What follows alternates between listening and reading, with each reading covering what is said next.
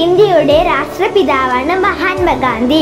ആയിരത്തി എണ്ണൂറ്റി അറുപത്തി ഒൻപതിൽ ഗുജറാത്തിലെ പോർബന്ദറിൽ ജനനം. കുട്ടിക്കാലം മുതൽ സത്യത്തിൽ ഗാന്ധിജി അടിയുറച്ചു നിന്നു.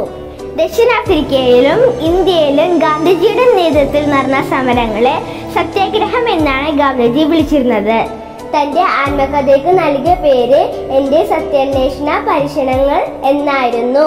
ഇംഗ്ലണ്ടിൽ പോയി ബാരിസ്റ്റർ ബിരുദമെടുത്ത ഗാന്ധിജിക്ക് ഒരു അഭിഭാഷകൻ എന്ന നിലയ്ക്ക് ദക്ഷിണാഫ്രിക്കയിലേക്ക് പോകേണ്ടി വന്നു. അവിടെ ചെന്നപ്പോഴാണ് വർണവരെ എത്രത്തോളം ഉണ്ടെന്ന് ഗാന്ധിജി കണ്ടത്. ആ ദുർഭരണത്തെ എതിർക്കുവാൻ ഗാന്ധിജി തീരുമാനിച്ചു. ടോൾസ്റ്റോയുടെ സഹന സമരം എന്ന തത്വം ഗാന്ധിജി പ്രാവർത്തികമാക്കി. ശ്രീബുധനും യേശു ക്രിസ്തുവും ഗാന്ധിജിയെ സ്വാധീനിച്ചു. അഹിംസപരമായി എല്ലാം സഹിക്കുക തിരിച്ചടിക്കാതിരിക്കുക ശത്രുവിനെ മാനസാന്തരം വരുത്തുക എന്ന സിദ്ധാന്തം ഗാന്ധിജി ദക്ഷിണാഫ്രിക്കയിൽ പ്രയോഗിച്ചു. ആയിരത്തി തൊള്ളായിരത്തി ആറിൽ ഗാന്ധിജി ഇന്ത്യയിലെത്തി. ഇന്ത്യയിലെ പട്ടിണിയും ദുരിതവും ഗാന്ധിജിയെ വേദനിപ്പിച്ചു.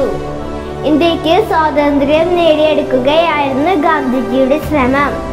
ഇന്ത്യൻ നാഷണൽ കോൺഗ്രസിൽ ചേർന്നു. പിന്നീട് ഹരിജന പ്രവർത്തകനായി.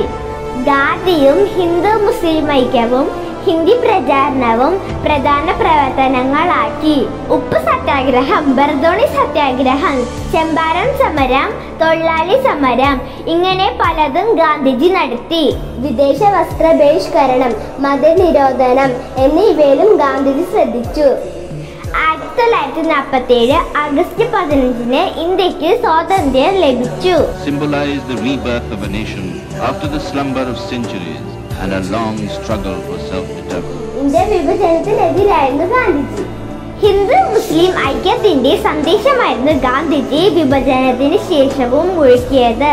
ആയിരത്തി തൊള്ളായിരത്തി നാൽപ്പത്തി എട്ട് ജനുവരി മുപ്പതിന് ഗാന്ധിജി ഒരു മതഭ്രാതന്റെ വെടിയേറ്റ് മരിച്ചു. Mahatma Gandhi is dead. When vast throngs crowded Delhi's Burner House, urging him to break his last fast, few imagined an assassin would strike near this spot 11 days later. ലോക പ്രശസ്ത സയന്റിസ്റ്റ് ആൽബർട്ട് ഐൻസ്റ്റീൻ ഗാന്ധിജിയെ പറ്റി പറഞ്ഞു ഇങ്ങനെയൊരു മഹാൻ ഈ ഭൂമിയിൽ ജീവിച്ചിരുന്നു എന്ന് വരും തലമുറയ്ക്ക് വിശ്വസിക്കാനാകുമോ പ്രണാമം ഗാന്ധിജി